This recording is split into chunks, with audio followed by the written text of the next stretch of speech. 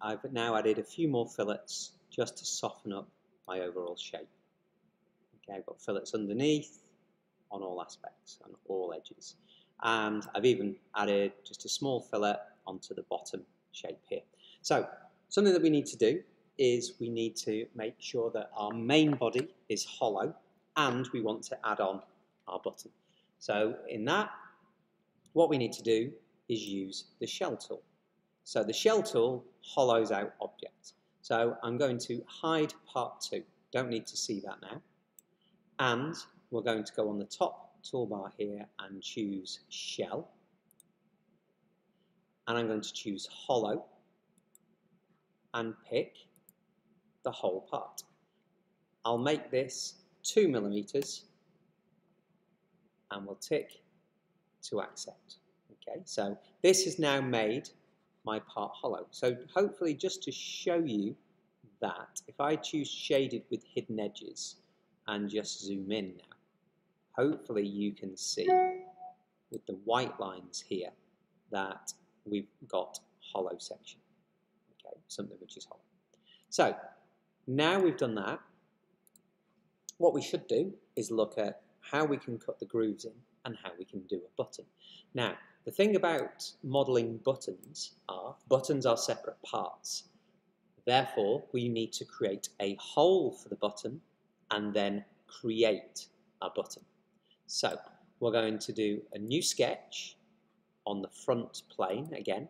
So this hopefully highlights now why we always try to sketch in the middle of our work because we keep going back to those original planes. If I change the circle tool to an ellipse tool, what that's going to allow me to do is sketch an ellipse. Now it's quite strange when you sketch an ellipse on how this works. If I just show you, I click once, once gives you the starting point for the center of the ellipse. So now that you know that, if I move my cursor approximately to the middle of the ellipse and move out, what I want to do firstly is get an idea of the height of my ellipse. So let's say something like that. And then the second I've clicked, it then gives me a second point to move to where I can do the width. Okay. Now I've got my shape, I pressed escape. I can just change diameters if I want to, or I can move my shape. Okay, so what we want to do is just have a look at the measurements, just make sure that we get this right. So I can click and I could do the total height here, let's do 35, and I could do the total width, let's make that 11.5. Okay, I'm happy with that, so let's spin it round, let's extrude, sketch 10, and let's drag it all the way through our work and choose remove. So what that's going to do for us is leave a hole. But as you've seen, mine's on the wrong side. So I need to edit my sketch and make sure that I drag my arrow the correct way. Okay, there we go. There is my ellipse ready to create the button. And so what we'll do now, before creating the button, we'll do our vents here. So we'll do the, our vents in this instance fairly simple. Okay, there are two major modeling ways that we could do it. We could do a revolve or we could do an extrusion. Now in this instance, we're going to do a simple extrusion. You will, uh, later on, I will show you why and how we can use a revolve to get something that's actually more accurate and probably better. So I've drawn two rectangles. Let's dimension my rectangles now. So let's get the height. Five looks about correct. Let's do this one. Let's change that to be five also. Let's measure the gap between these two. Looks like that should be about 5. Okay, but I'm going to press escape and drag the bottom box down. Now we can see that that one comes too far down, so let's change that measurement to be 6. It moves that up. Let's, we're going to round the edges here with a fillet, so I'm going to drag that to be bigger. I'm going to drag that one to be bigger. Okay, and looking at that, I'm happy.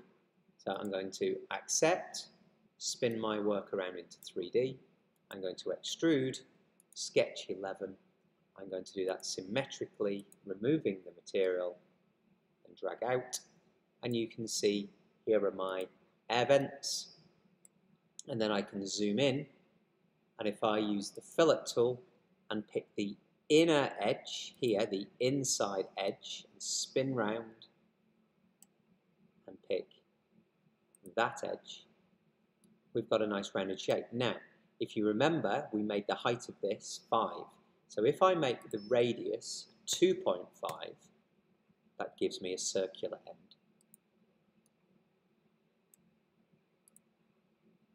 Okay, like that, and let's zoom in, and